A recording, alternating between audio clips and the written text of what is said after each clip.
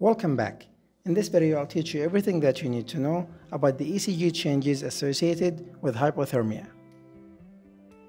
We start experiencing hypothermia when our temperature drops below 35 degrees Celsius. The effects start reaching the heart when the temperature drops below 32 degrees. In the ECG, you will see many movement artifacts, and this is related to shivering. You will also see the characteristic J wave, also known as the Osborn wave and there will be a generalized prolongation of the waves. So the P wave, the QRS complexes, and everything else will be looking as if it was stretched.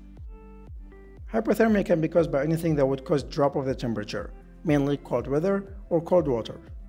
The symptoms are not related to the heart per se, but mainly to the symptoms generalized by hypothermia, like shivering, exhaustion, confusion, feeling some bumps or goosebumps all around, some memory loss depending on the degree, and sometimes slurred speech.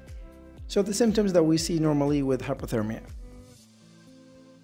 Whenever you are rewarming a patient, make sure to do so gradually, unless the patient was in a very severe state of hypothermia, in which case cold rewarming can be done.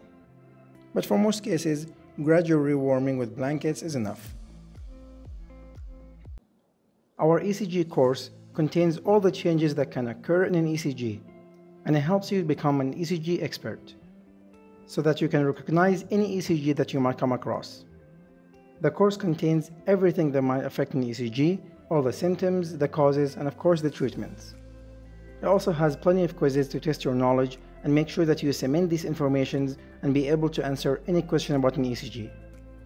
You can access the course using the link in the description or in the pinned comment.